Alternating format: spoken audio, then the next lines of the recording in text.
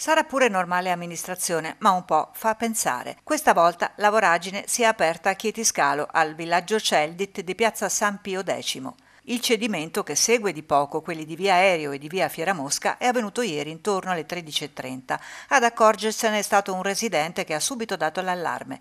La voragine circoscritta con le recinzioni si sarebbe aperta a causa della rottura di un tratto della rete fognante, ipotesi suffragata anche dall'acqua nera e dal cattivo odore diffuso nella piazza. Sul posto sono intervenuti immediatamente i vigili del fuoco e poco dopo anche il comune e i tecnici dell'ACA. La buca che si è aperta nel manto stradale ha una profondità di circa un metro ed è larga uno e mezzo.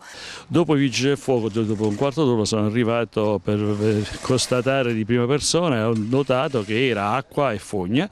Eh, di conseguenza ho chiamato l'ACA che con noi collabora in modo perfetto, preciso e anche puntuale con, eh, per quanto riguarda le tempistiche dei lavori e sono venuti ieri pomeriggio stesso a, a, a sistemare.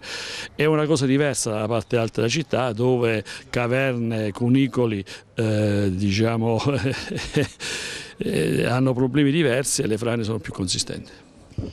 Lei dice l'ACA collabora nel momento in cui si rompe la rete, ma il fatto che la rete si rompa significa qualcosa? Ci sono delle, uh, delle tubature obsolete, ci sono delle manutenzioni da fare o che non sono state fatte?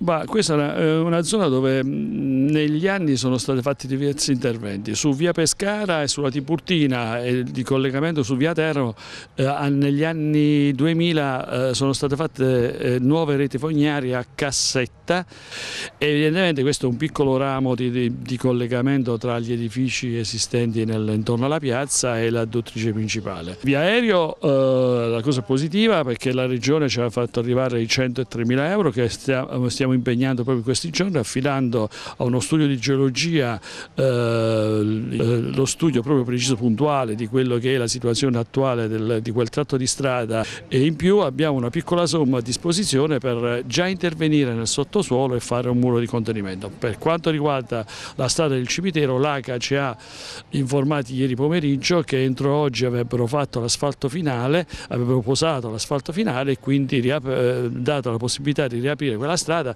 più che altro al collegamento ehm, diciamo, del trasporto pubblico che, che al momento è sospeso.